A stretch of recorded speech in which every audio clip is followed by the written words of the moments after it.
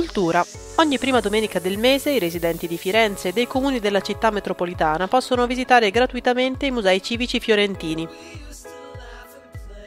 È questa l'opportunità offerta a cittadini e famiglie del territorio da un evento a loro dedicato, la Domenica Metropolitana.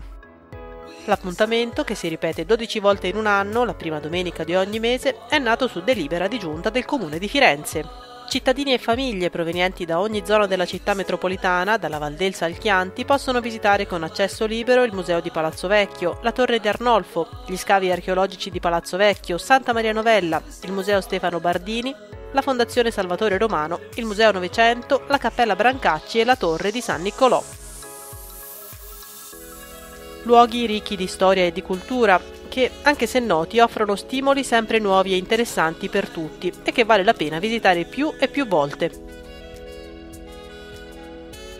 Oltre ai semplici accessi ai musei civici, con la Domenica Metropolitana si può usufruire di ulteriori attività e servizi specifici ideati e promossi da Muse Firenze. Si tratta di eventi gratuiti su prenotazione, quali laboratori didattici per bambini e ragazzi o tour speciali e interattivi legati alle esposizioni temporanee.